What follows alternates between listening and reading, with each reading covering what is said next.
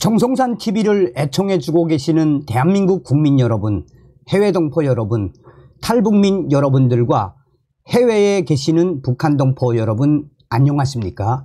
이번 시간에는 북한의 김정은 표창장까지 받은 북한 고위급 망명, 미국 담당 북한 고위급 처형, 내부 충격 상황 폭로, 이번 소식의 핵심 무엇이겠습니까? 지금 현재 북괴 김정은이가 집권하고 있는 북한 13년째인 이 북한 최악의 식량난과 경제난 또한 이 에너지난과 외환난에 고난의 행군 때보다도 더 비참한 삶을 살고 있지 않습니까? 여기에 우리 탈북민 단체들이 보낸 전단과 USB 때문에 지금 북괴 김정은이가 난리가 났지요. 이 한류를 잡기 위해 얼마 전에는 이 USB, USB를 본 중학생들 40여 명 공개 처형하지 않았습니까? 그뿐이겠습니까? 북한과 중국 역사상 지금 최악의 상태지요. 김정은과 러시아 푸틴의 신군사 동맹에 중국이 오죽했으면 이 중국에 있는 북한 노동자 10만 명 다 북한으로 보내겠다라고 강력하게 지금 압박을 하고 있지요. 정성산 TV 좋아요, 구독, 알림은 큰 힘이 되겠습니다. 후원해 주시는 모든 분들께 가열차게 멸공. 김정은 표창장 받은 북한 고위 외교관 한국 한국 망명 리일규 참사 작년 11월 입국에 아내, 자녀와 정착. 저는 이 가족들과 온 게 제일 부럽습니다. 태영호 이후 최고위직 쿠바 주재 북한 대사관의 리일규 정치 담당 참사 52세 참사관이 지난해 11월 초 아내와 자녀를 데리고 망명해 한국에 정착을 했습니다.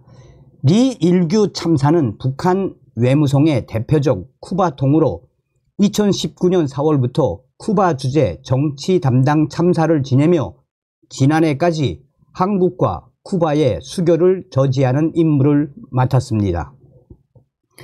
2016년 기순한 태영호 당시 주 영국 북한 공사 이후 한국에 온 북한 외교관 중 가장 직급이 높습니다.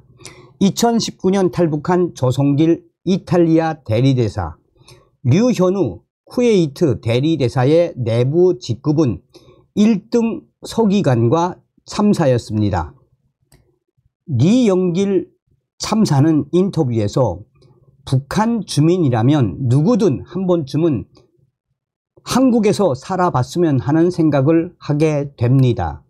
북한 체제에 대한 염증, 암담한 미래에 대한 비관, 이런 사회에서 벗어나고 싶은 마음이 탈북을 고민하게 된 출발점이었습니다. 라고 말했습니다. 1999년 외무성에 입부한 리일, 리일규 참사는 2013년 북한 선박 청천강호가 쿠바에서 지대공 미사일과 전투기 부품을 싣고 파나마 운하를 통과하려다가 적발됐을 때 쿠바 대사관의 3등 서기관 대외 직명은 1등 서기관으로 파나마 측과 교섭을 벌여 청천강호의 억류를 해제하고 선장과 선원들을 석방시켰습니다. 이 공로로 김정은의 표창장을 받았습니다.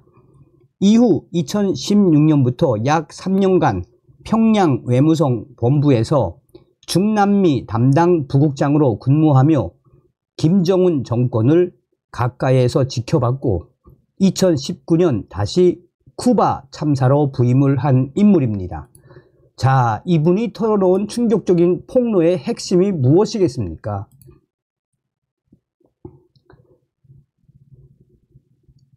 인터뷰에 응한 리일규 전 쿠바 주재 북한 대사관 참사는 차분하고 온화한 인상이었습니다. 평양 말씀만 아니면 불과 8개월 전 사선을 넘어 귀순해온 북고위 관련한 사실을 알아차리기 어려울 정도였습니다. 하지만 그는 충격적인 북한 내부 상황에, 대, 내부 상황에 대해 폭로를 쏟아냈습니다. 특히나 김정은, 김정은이 반통일 두 개 국가 정책을 민족의 넋을 말살하는 행위라고 비판할 때는 단호했습니다. 기자, 리일규 선생 왜 탈북을 생각하게 됐습니까? 리일규 직접적인 계기는 노력에 대한 불평등한 평가, 그에 대한 좌절감과 분노였습니다. 북한 외무성은 권세 있는 집안 자식들이 몰려 있습니다. 내 출신 성분, 사회 성분은 사무로 노동자나 군인에 비해 좋지 않았습니다. 최하위 직급으로 입직해 성실하게 노력해 왔습니다. 그런데 2019년 8월 쿠바에 북한 식당을 내기 위해 평양에 가자 외무성 대표부 지독과 부국장이 적지 않은 뇌물을 요구했습니다. 자금 여유가 부족해 후에 보자는 식으로 미루었더니 그가 앙심을 품고 나를 소환하려고 시도했습니다. 이후에도 끊임없이 업무 평가를 야박하게 했습니다. 기자, 그래서 탈북을 결심했습니까? 리영, 리일규. 그러던 중 지난해 내가 경추 손상에 의한 신경 손상증을 앓게 돼 멕시코에 가서 치료를 받게 해달라고 외무성에 제기, 요청을 했습니다. 쿠바는 제재를 받아 의료기기가 없어서 어쩔 수 없이 멕시코에 가야 했습니다. 24시간도 안 돼 불호한다는 전보가 떨어졌습니다. 그때 격분에 북한을 떠나려는 내 생각은 옳았다고 확신했습니다. 김정은 표창장을 거실에 걸어두셨던 부모님, 장인, 장모님이 다 돌아가신 것도 탈북 결심에 일조하게 됐습니다. 기자, 탈북을 어떻게 계획했습니까? 리일규 2023년 7월 중순부터 탈북을 심각하게 고민해 11월 초에 실행을 했습니다. 그 3개월 여간, 야, 이때가 제일 힘듭니다. 그 3개월 여간 7kg이나 빠졌습니다. 바발이 모래를 씹는 것 같다는 표현을 체험했습니다. 비행기 표까지 사놓고 탈북 6시간 전 아내와 아이를 불러 내 결심을 알려주었습니다. 한국이란 말은 안 하고 외국에 나가 살자고 했습니다. 기자, 북한은 여권을 다 대사관에 보관하게 하는데 비행기를 어떻게 타게 됐습니까? 리일규 구체적으로 설명하면 북한 당국이 그 방식을 사전 차단 할 것입니다. 내 뒤를 이어 탈출하려는 분들에게 피해가 될 수 있어 말할 수 없습니다.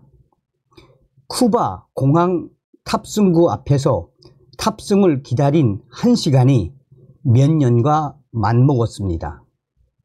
처음으로 하나님께 가족을 보호, 보호해 줄 것을 빌고 또 빌었습니다. 왜 인간이 종교를 믿는지 절감했습니다. 기자, 김정은을 만나 봤습니까? 리일규, 네, 차도 같이 마셔봤습니다. 김정은도 마주 앉아보면 그냥 평범한 인간입니다. 가까이에서 보면 혈압이 굉장히 높겠다는 생각이 듭니다. 항시 얼굴이 술 마신 것처럼 얼마나 새빨간지 모릅니다. 화면에 나오는 것보다 더 빨갛습니다. 인디언 같습니다. 기자, 2022년 11월 딸 김주애를 공개했습니다. 리일규 김정은이 주애를 데리고 다니는 것은 언론 공개 한참 전의 일입니다. 평양에서 제2 자연과학원 아파트에 살았습니다. 주민 80% 이상이 핵 및 미사일 개발에 종사하던 사람들입니다. 그들에 따르면 안고 다녀야 하는 꼬마 때부터 김주애를 김정은이 기분 좋으면 내가 공주를 보여주겠다면서 주애를 데리고 나왔다고 합니다.